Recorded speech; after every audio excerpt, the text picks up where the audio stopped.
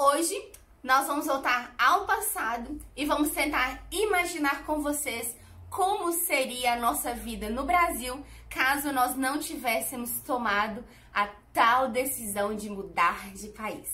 Vambora? Simbora.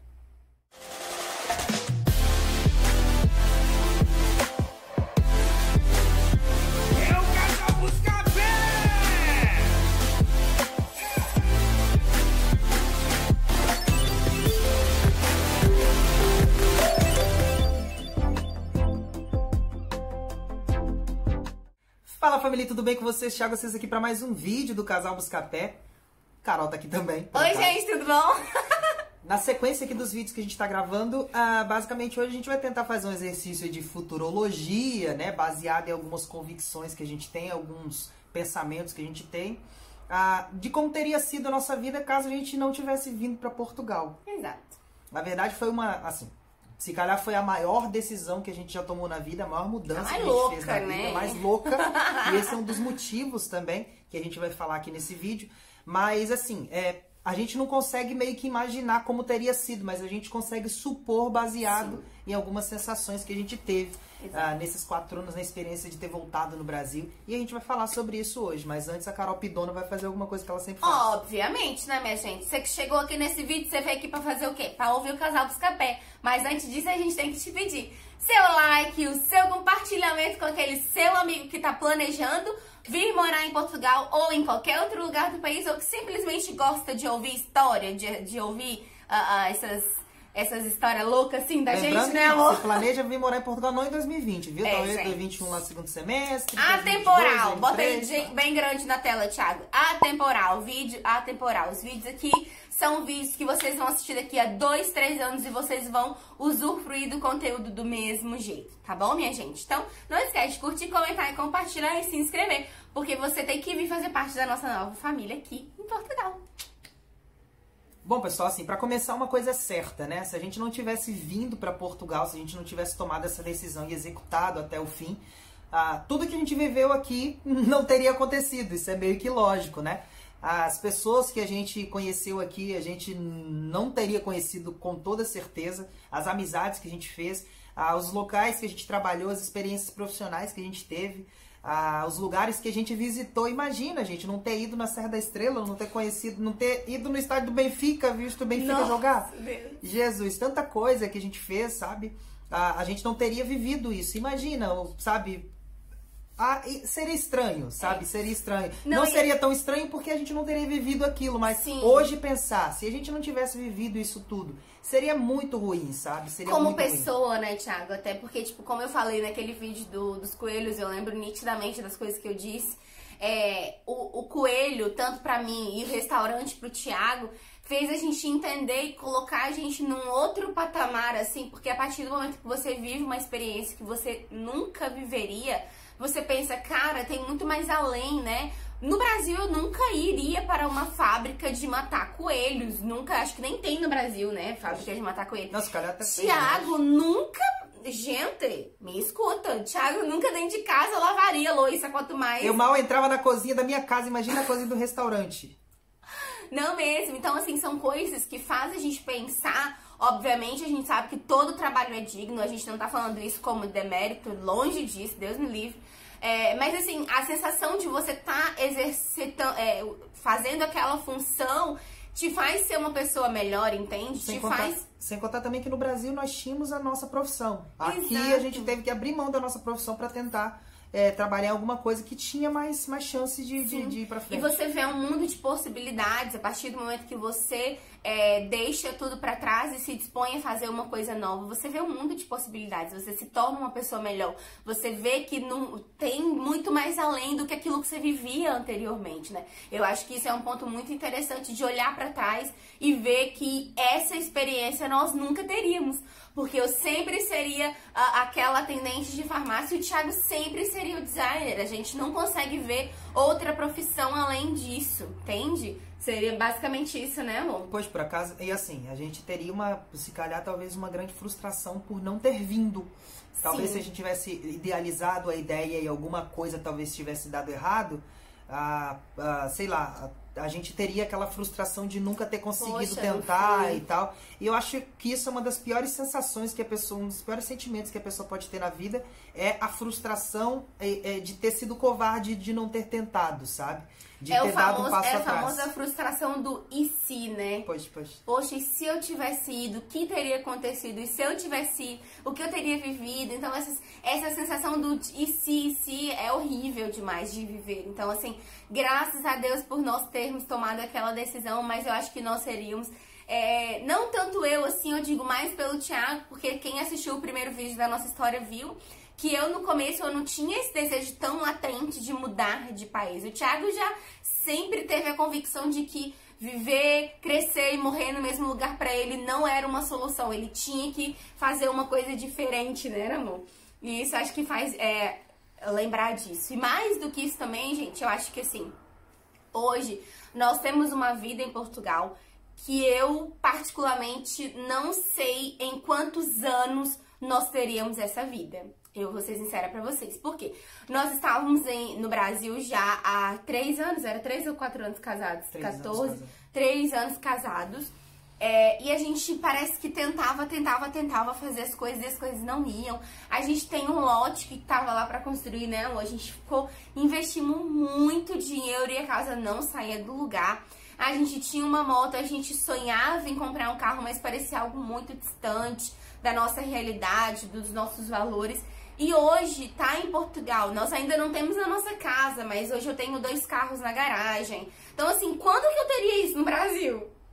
Eu acho que nunca. Quando é que a gente teria crédito pra comprar o- um carro? Imagine Gente, dois. é surreal você imaginar essas coisas. É muito surreal. Lógico muito que isso também não quer dizer nada. Assim, a Sim, gente tem uma não. vida estabilizada, a gente tem um nível de vida. Eu acho que nós seríamos, é, nós seríamos felizes a mesma, mas eu tô falando mesmo de conquista. Obviamente nós teríamos outras conquistas no Brasil, mas eu acho que essa, pelo menos essa conquista, falando é, basicamente desse nicho, a gente não alcançaria, pelo menos não tão cedo, é, pensando na vida que nós tínhamos em 2016, tá, gente? Isso é Uma- tudo baseado no que a gente tinha em 2016, né, amor? Uma, uma hipótese também talvez seria. prov- talvez a gente não estaria morando na mesma cidade. Ah, Sim. Isso eu digo por quê? Porque assim, eu profissionalmente já tinha praticamente Verdade. trabalhado em todas as empresas da minha área, da minha cidade. Sim. Eu já tinha passado por, por, sei lá, por, por 70% das empresas.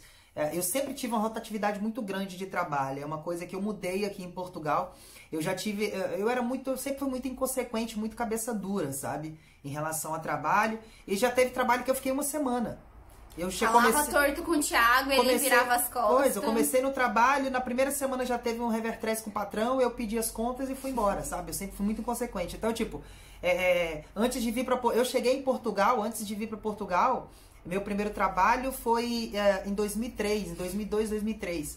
Eu já tinha passado por, por, por 17 trabalhos diferentes, por 17 empresas diferentes, nesse tempo.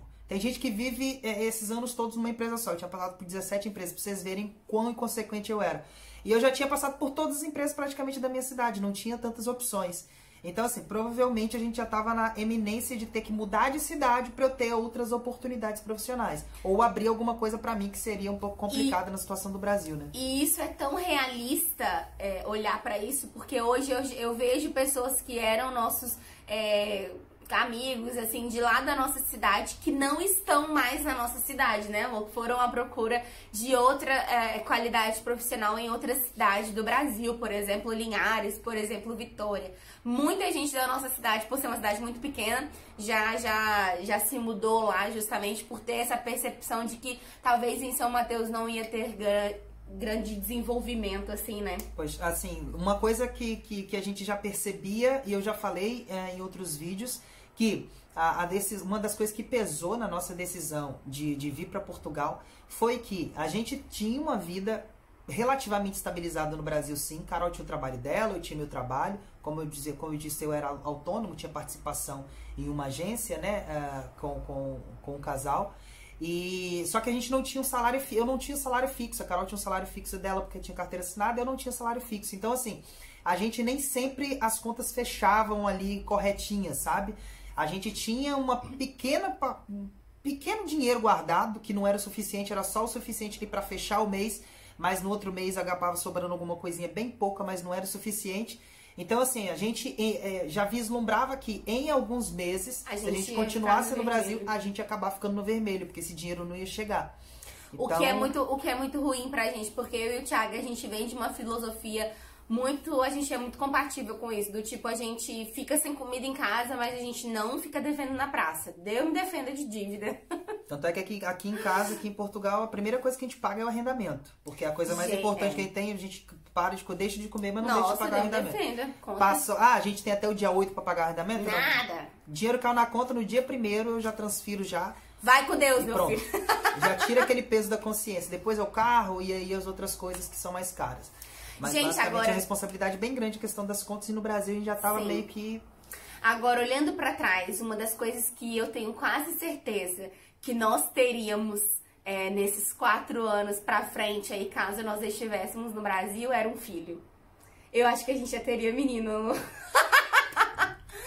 Principalmente por conta de Dona Santa. Dona Santa é a causadora, porque ela toda vez que nós estamos lá, ela faz um terror, um terror que ela fala assim pra nós. Ai, eu vou morrer e não vou ver meu bisnetinho de vocês, não é? Pois- Não, e, e- e detalhe, detalhe. Se a gente tivesse filho, provavelmente aí que a gente não teria vindo pra Portugal mesmo. Não mesmo. Porque a gente veio porque a gente não tinha um pinto pra dar água. Obviamente que isso não é nós dois. impeditivo nenhum, mas eu falo Pois, assim, no assim, nosso no caso. nosso caso, eu não teria vindo com o filho pra cá porque. Mas não- você também vê isso que eu acho que a gente já teria engravidado. Primeiro que eu sou louca, você sabe que eu sou doida por menino, mas A sua avó verdade- e sua mãe juntavam A verdade é que a gente tinha meio que combinado entre a gente assim que talvez lá com 5 anos de casado a gente teria filho. Já vão pra sete. Mas aí levou em consideração que a gente, com 3 anos de casado, a gente veio pra Portugal, Cara, então a contagem racha. começa do zero, entendeu? Cara, nem Cinco, racha. daí zero, né? 5 anos e tal. Aí não Bota sei, aí né? embaixo, hashtag, você que tá comigo, bota aí embaixo, hashtag bebê busca pé. Mas pra esse vídeo não ficar muito longo, vamos, vamos prosseguir com a conversa aqui, vamos mudar de assunto. É isso. Basicamente, uma coisa que, que, a gente, que a gente tem quase certeza é que se, se a gente não tivesse mudado de estado, tivesse continuado lá, Sim. a gente ia dar um jeito de pagar as contas, isso aí é certeza. A gente ia dar um jeito, ia dar uns pulos, a gente se vira nos 30 mesmo. Mas é, uma impressão bem legal que a gente teve, a Carol concorda também que a gente teve essa impressão, é que a gente veio para Portugal, né? Decidiu, vimos, vi- viemos para Portugal. Ficamos dois anos aqui até a gente se legalizar, demorou um ano e meio, depois a gente demorou mais uns seis meses. Com dois anos a gente voltou no Brasil depois de dois anos. A gente só voltou no Brasil depois de dois anos que a gente tinha vindo para Portugal.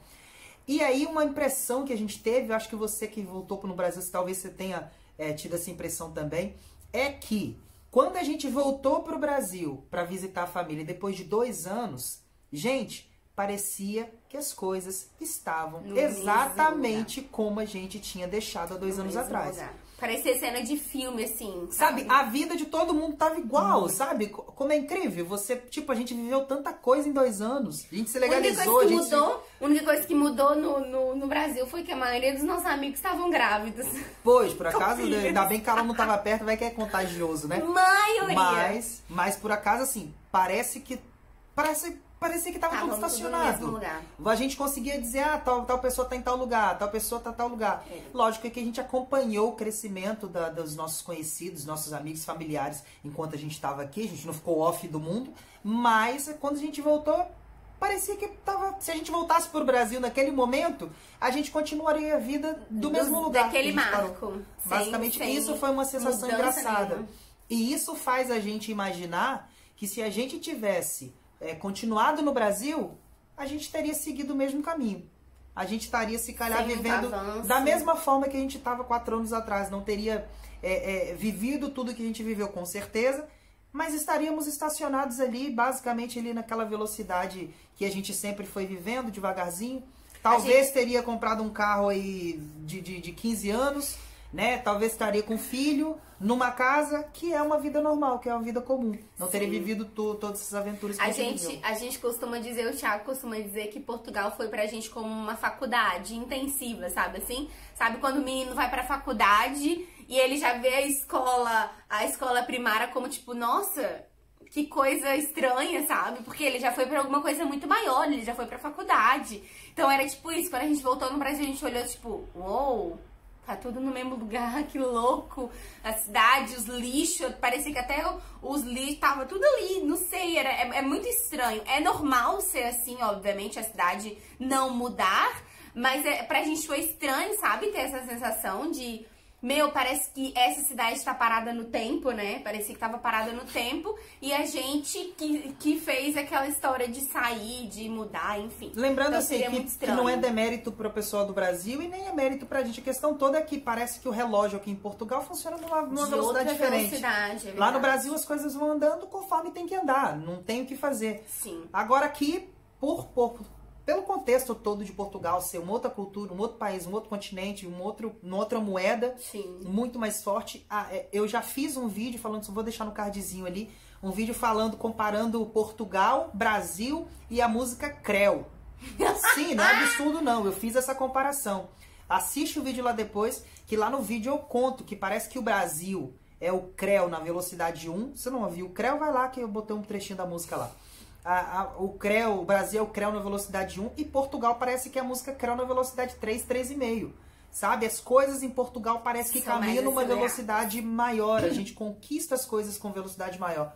Gente, lembrando, essa é a nossa realidade e nós moramos aqui há quatro anos. Nós estamos aqui estabilizados. Tá? A gente sempre deixa isso claro porque muita gente vem criticar "Ai, que não sei o que, vocês estão vendendo Portugal. Não, a gente está vendendo Portugal nosso. Esse é o nosso Portugal. E a gente não está vendendo para ninguém, não, tá? A gente está contando aqui. É tá? nossa história. É, é nosso canal, a gente conta o que a gente quiser. A gente está contando a nossa história aqui, basicamente. Falando, falando em contar histórias, se nós estivéssemos no Brasil, você seria youtuber? Com certeza não. Com certeza. Caraca, era, uma legal, coisa né? que, era uma coisa que eu tava na cabeça de falar também. A gente não gra- gravaria vídeo. Vocês Não, a gente, tem, a gente tem um canal. A gente tinha um canal que era seu, esse canal já antigo. Mas assim, nunca acho que a gente não teria ideia. Pois, por acaso, não existiria o casal Buscapé, Não na existiria. verdade. Gente, ter vocês têm noção do que é isso? Vocês não iam conhecer essas duas caretas aqui. Que engraçado, loucura. engraçado, pensa no efeito borboleta. Que A gente tem, tem algumas pessoas que a gente já, já, já conheceu pessoalmente, pessoas que vieram para Portugal através da nossa, da nossa, das nossas informações, da nossa Verdade. influência, sabe? Graças a Deus. Tipo, imagina que ah, o fato da gente não fazer vídeo não mudar. Essas pessoas talvez não teriam mudado a vida delas. Sim. Sabe? E a partir dessas pessoas, outras pessoas vão sendo mudadas também, vão tomando coragem, vão tomando decisões na vida. É um efeito borboleta, a partir de- de- da nossa decisão, na verdade, a partir da decisão das pessoas que, que, que incentivaram a gente lá no começo, aí a coisa vai crescendo. Vocês conseguem perceber a ideia? Sabe? Uma pessoa vai contagiando a outra e de repente a vida de muita gente é mudada por causa de uma, de uma situação, de uma decisão De lá uma atrás. decisão bem tomada e bem estruturada e bem planejada, né? Assim. Exatamente, Que exatamente. louco, cara. Não seríamos youtubers. Pois por acaso. E assim, gente, sinceramente, é, é, a gente sempre fala isso aqui com orgulho, porque a gente passou por fases bem complicadas aqui em Portugal. Mas assim, a gente nunca, uma coisa que a gente pode afirmar pra vocês, a gente nunca viveu aqui numa condição inferior à que a gente tinha no Brasil. Não. A gente sempre tinha uma vida no Brasil assim, financeiramente falando, socialmente falando, etc. A gente sempre tinha uma vida no Brasil aqui. Aqui em Portugal a gente sempre estava assim.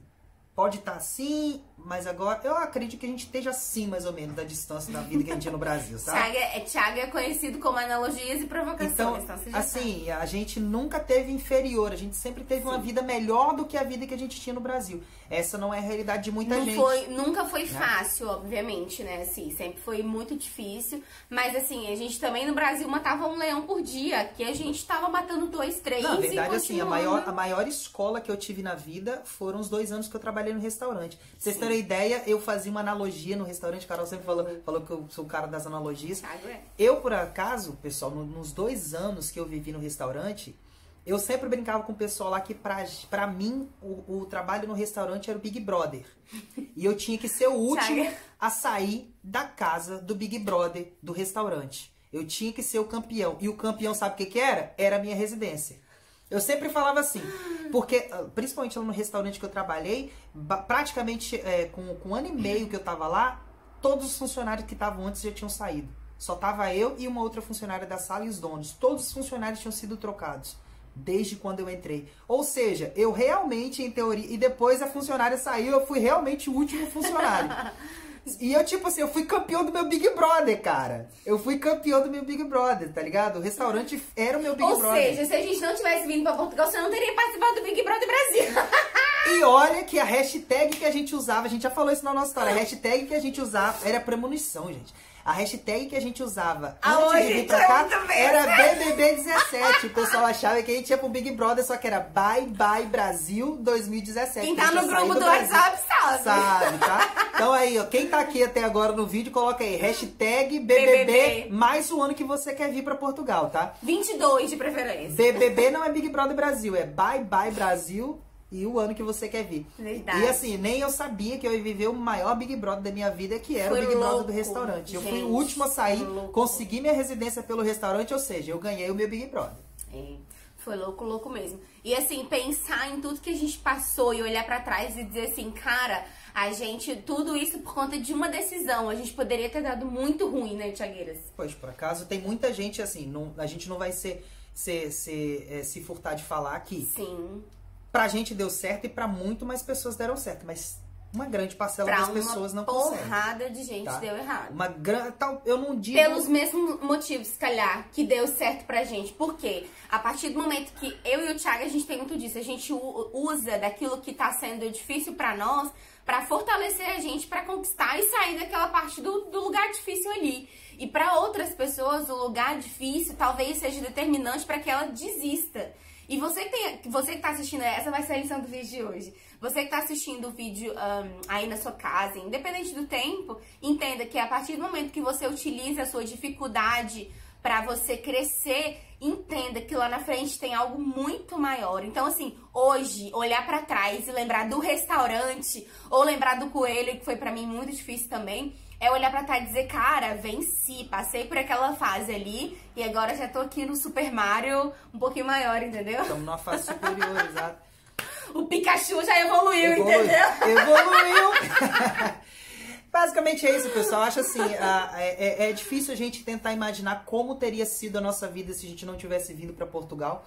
Mas de fato, assim, é, ter a frustração de não ter vivido tudo isso que a gente viveu, eu acho que seria a pior, o pior sentimento que a gente poderia ter.